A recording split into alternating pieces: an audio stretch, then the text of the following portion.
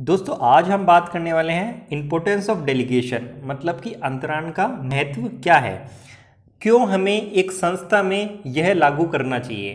क्या क्या इसका महत्व है क्या क्या इसके लाभ हैं? इसके बारे में आज हम जानने वाले हैं। अब तक दोस्तों, हम जान चुके हैं कि डेलीगेशन ऑफ़ अथॉरिटी क्या होता है और इसके क्या क्या एलिमेंट्स हैं। आज हम इनकी इंपॉर्टेंस जानेंगे। तो आइए दोस्तों, ज़्यादा टाइम ना वेस्ट करते हुए शुरू करते हैं आज की हमारी वीडियो आगे बढ़ने से पहले दोस्तों, मैं आपको बता दूँ अब आप हमारे इंस्टाग्राम या फेसबुक पेज से भी जुड़ सकते हैं। तो दोस्तों, यदि बात की जाए इंपॉर्टेंस ऑफ़ डेलीगेशन अंतरण के महत्व की तो दोस्तों, इसका पहला इंपॉर्टेंस ये है कि प्रभावी प्रबंध मतलब कि इफ़ेक्टिव मैनेजमेंट इससे होता है। अब यह कैसे होता है, ये जानते हैं दोस्तों। तो दोस्तों, सीधी सी बात है डेलीगेशन में क्या होता है? हम क्या करते हैं डेलीगेशन में? डेलीगेशन में जो हमारा बॉस होता है, वो अपने सबोर्डिनेट्स को काम देता है। बराबर बात है, काम देता है रेस्पॉन्सिबिलिटी देता है और उसको कुछ राइट्स भी देता है। अब मैनेजर लोग क्या होते हैं? फ्री हो जाते हैं। क्यों? क्योंकि अपना काम तो उन्होंने सबॉर्डिनेट्स को दे दिया। तो अब वो क्या है? फ्री हैं। अब वो उस काम का सुपरविजन कर सकते हैं। काम में कुछ कमियाँ हैं, कर रहे हैं सबॉर्डिनेट्स तो उनको बता सकते हैं। बोले, भैया, इस तरीके से आप काम कीजिए। और इसके अलावा भी और भी संस्था में जो भी अन्य महत्वपूर्ण काम है अदर जो इंपॉर्टेंट वर्क्स हैं, उन पर वो ध्यान दे सकते हैं, ठीक है? सुपरविजन कर सकते हैं, अदर जो बहुत से काम होते हैं ना कंपनी में, अदर वर्क्स पे ध्यान देते हैं, और दोस्तों, वो काम करने के नए नए तरीके भी खोज सकते हैं, ठीक है? तो इससे क्या होता है मैनेजमेंट इफ़ेक्टिव होता है डेलीगेशन से।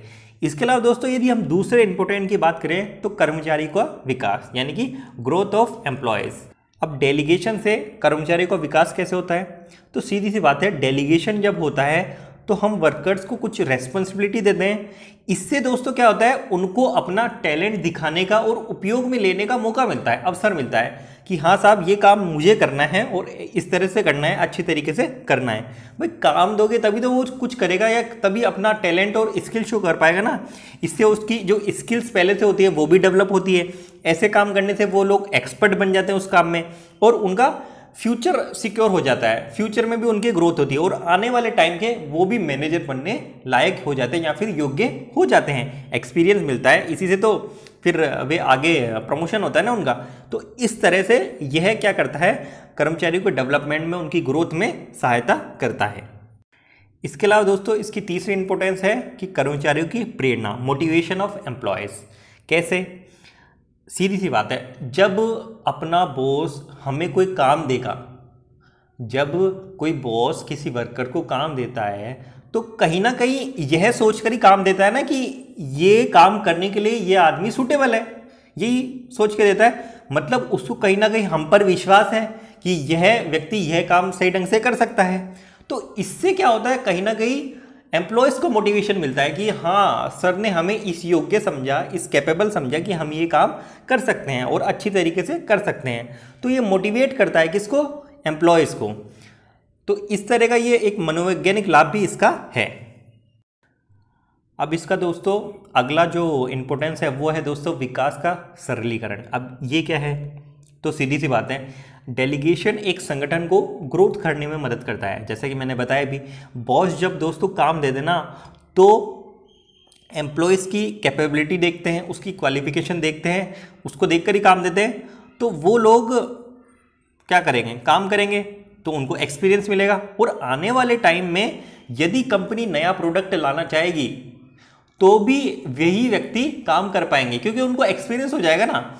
मैनेजर जब अपने वर्कर्स को काम देगा तो वो काम में कहीं ना कहीं एक्सपर्ट बनेंगे ही बनेंगे।